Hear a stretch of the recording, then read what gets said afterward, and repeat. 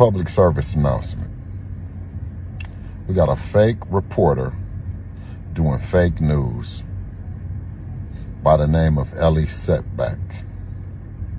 Not only is this scumbag doing fake news and being a culture vulture, but he's also pitting young African Americans against each other.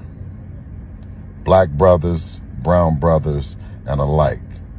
Instead of pushing this boxing agenda forward and asking the right questions and the tough questions, he's creating dissension and division with a microphone and capitalizing on it financially while leaving others to repatch relationships that have been built over quite some time.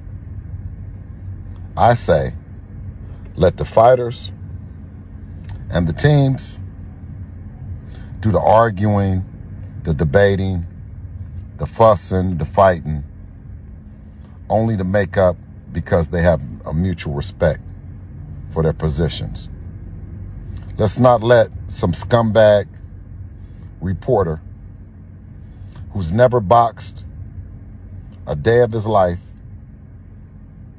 never helped a, anyone. Check this out. Okay, you sparred Haney. I think Regis smokes him. I think Regis too strong. I think Haney's boxing. He lost to Loma. No, he did not lose to Loma. He lost to, the whole world saw him lose.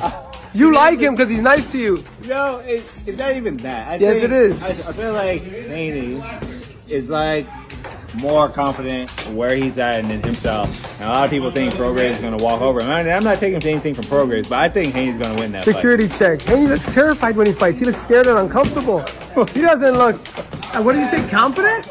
Fight. I feel I like he's, he's more confident in where he's at. Because I'm, surp- I'm surprised he took the fight. He took the fight. You think he would take the fight if he thought he was going to lose that fight? Well, he wants a shortcut to the belt.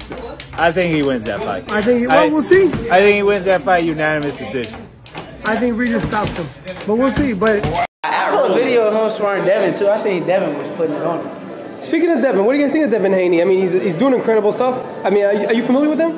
Yeah, yeah, man, and him sparred. What do you I know him since uh, since he was little, but I think he's a great fighter. He's also the future. He's in your group of Yeah, I the feel, like, next I generation. feel like he's a great fighter, but he better stay out of my way because I'm gonna beat him up. I honestly, I honestly didn't think he was a good fighter until I got in there and sparred him. And he didn't think the same of me. And in the sparring, he looked at me and he stopped. He was like, "You the truth, but I'm the truth too." And then after that, we just got respect for each other. Why do you think people write him off? What you mean by that? When he shows up to a gym, they don't think he's that good, but after the sparring, they give him respect. What is it? Uh, honestly, I don't know, but sometimes you gotta show people better. You can tell them. So I think that's better. I feel like my, I feel like um my like.